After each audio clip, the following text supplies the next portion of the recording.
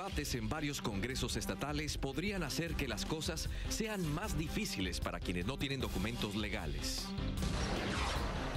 El juicio en Cuba contra Alan Gross, un estadounidense acusado de delitos contra la seguridad del Estado, terminó.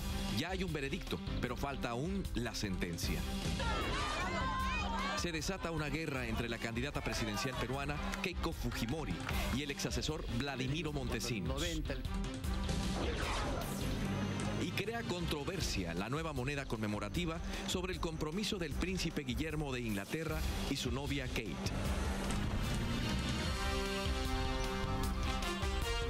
Este es su noticiero Univisión Fin de Semana con Martín Darlanga.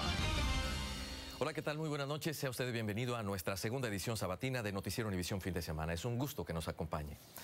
Activistas y legisladores en distintos estados